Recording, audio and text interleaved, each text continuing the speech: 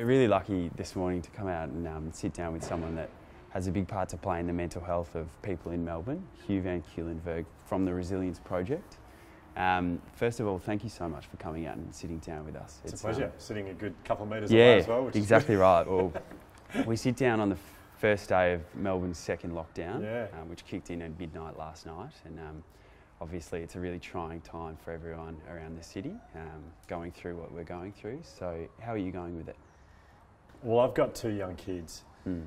Uh, and so a lot of, I think a friend said to me once, when you have kids, it's like long days and short years. So for me, this year's flown by as hard yeah. as it's been. It's been really quick. Mm. Um, it's been really challenging. Like we, we, you know, on the topic of mental health, like I've very blessed. I've always been a very happy person. I have found myself this year struggling at certain points yeah. though.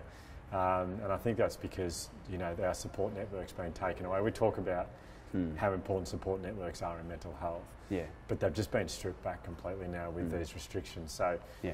my wife and I, we rely heavily on my parents, her parents, yeah. um, to help out with the kids. Mm-hmm. And uh, in that first lockdown when they yeah. were taken away from us, um, we became a lot more stressed. So the kids became more stressed. Yeah. And um, it all ramps up again. All ramps up again as of today. yeah, well, exactly right. Um, Martin, your 2IC put up a really beautiful video last night on your IGTV, which was a really sort of beautiful way to verbalise the perspective that we could potentially take on the next six weeks. And I, I know that you did one too um, at the start of the first lockdown, a little video. Not as good as his. Not, as inspiring as his. He's yeah, very good. He's it was amazing. Good. I certainly really enjoyed it. And what are some of the things that you'll try and focus on? Well, well, I know there are things that I can do mm. that just make me feel happier and have better mental health. And yeah.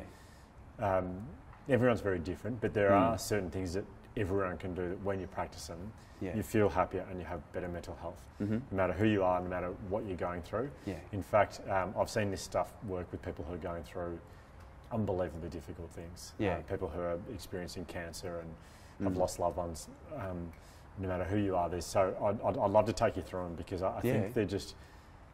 I think the best thing about them is they're really easy to do, Yeah. um, and they're not. They don't take up that much time. So, Mm. The ones that we talk about the Resilience Project are gratitude, empathy, and mindfulness. Yeah. Um, so, gratitude, the simple act of finishing your day by reflecting on what went well for you. Mhm. No matter how ordinary your day is, just writing down what went well for you. Mhm. Um, practicing gratitude is massive. Empathy, so or kindness, um, doing things for other people, Yeah. like being compassionate and thinking about other people before you think about yourself is a really Mm. powerful thing to do. Um, I know one of the things I'll be doing in the second lockdown, which worked for me well in the first one, was I just wrote a list of ten people that that I have found myself thinking about a lot, or I care about a lot, Yeah. or I'm worried about through the lockout. Whether it's people who are in a vulnerable age group or Mm. people who've lost their job, and each day I'll choose a person off the list and just do something for them, and That's not, like like not Yeah. an outrageous act of kindness, like yeah.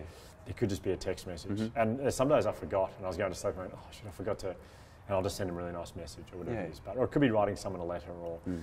um, uh, so that's the second one. Empathy, mindfulness. Everyone talks about mindfulness meditation. You don't have to sit down and do a meditation every day. It helps. Yeah. But just spending, if you can find two to five minutes every day where you stop and just pay attention to what you can hear. Mm. I mean, doing it here would be an amazing place to Yeah. sit here for five minutes. Yeah. You can hear birds, you can hear people, you can hear Mm. dogs, you can hear, um, you can hear roadworks. You can hear like the more you, uh, the more time you spend paying attention to what's happening as it's Mm. happening, Yeah. the more calm you'll feel. Mm, I needed that before this video. I think I was bit. It was quite a nice just having five minutes of sitting down. Well, yeah, and it, and it helps because like mindfulness, it's huge right now because it's the Mm. ability to be calm and present, and they're Mm. two things we're not really. Yeah. If we're being honest with ourselves as a country, probably globally, we're not overly calm, we're not overly present. I mean, I, there's so many of us spend time thinking about what you know, what's the world going to look like in a month's time, what's it going to look like in two months' time. Yeah. We have very little control over that. Mm. So the more time we're worrying about something that we can't control, the more anxious and stressed we're going to feel. If you're Yeah. paying attention to right now, it's a lot easier to feel calm. Mm. So there are our three: gratitude, empathy, mindfulness. But the other things that people need to be doing um, is eating really well, eating Yeah. healthy. We're eating way too Mhm. much sugar. We're, well, I mean, we're basically eating too much stuff out of packets, really. If I could summarise it really quickly for you.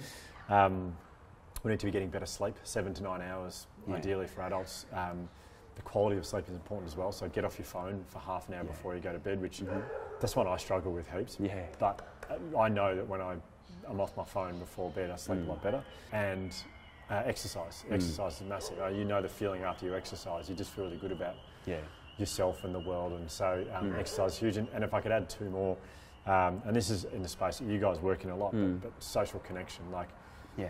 yeah, we're, we're isolated, but, but we're not um, we're, we're not unable to contact people. So, um, and then the last one that, that I recommend people do, and and this is probably you know this is where you guys this is the space that you guys work in, um, Yeah. but is to be vulnerable. Like, Yeah. if you're battling, just stick your hand up and tell someone and say, Yeah. I'm, I'm, I'm not good at the moment. hmm And you watch what happens. Like you're flooded with support from them, but also you the very process of reaching out to someone Mm. um, is really good for you Yeah. uh, emotionally. Mm. Uh, really good. So In, um, in the past journals that we've done, we, we often talk about the importance of conversations and what, what Yeah. they can do for people and, and try and sort of get a little bit of verbalisation to the experience of men with their own conversations in Mm. the past. And um, what about your perspective on the importance of them in your own life?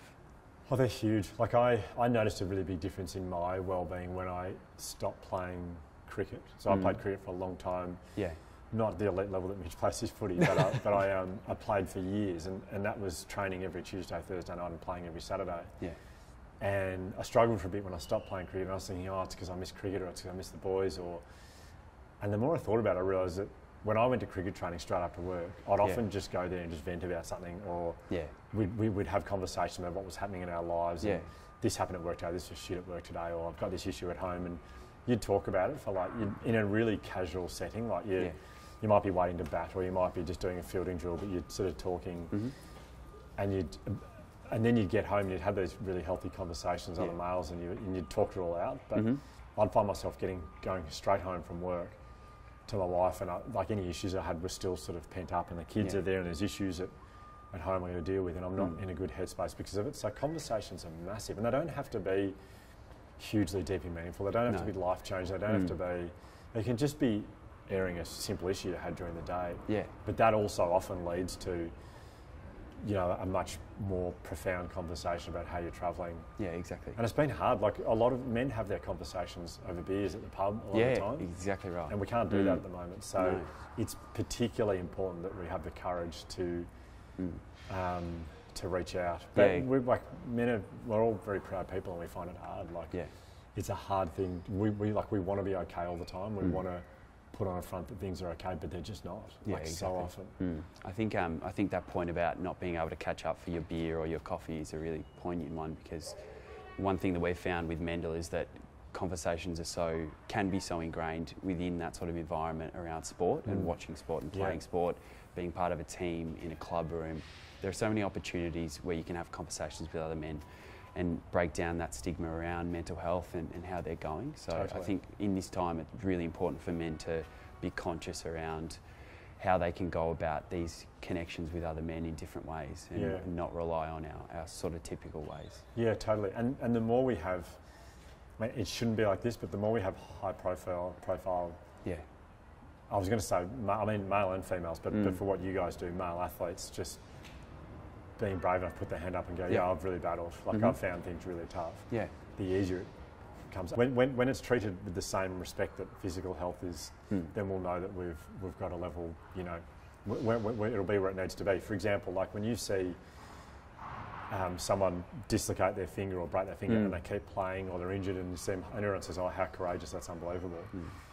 one day there'll be a player running around who we know suffers from really severe anxiety Yeah. or depression, and, we, Mm. and people are saying, how, how courageous is that? Mm. They're still out there having a crack. yeah, I mean, that's for, for people who experience mental ill health, to actually getting out of bed is just like, it's just, a, it's, it's such a hard thing to do, but it's just such a massive win and it's Yeah. such a big effort. So we need Mm. to be celebrating it the same way we do someone who has the courage to run around Mm. with an injury. yeah. It's the same thing. Going back to the lockdown and, and men in general, what would your advice be? I know that you did touch on it before, but what would your advice be to some of the men around Melbourne that might be uh, quite concerned about the next six weeks? The other thing I'd say is um, be really kind to yourself. Mm-hmm. So as in, know that it's okay to not like it's it's actually very normal. If you're Yeah. flat right now, if you're feeling depressed or anxious, that shows that you're normal because Mhm. that's a normal response to an incredibly stressful situation. Yeah.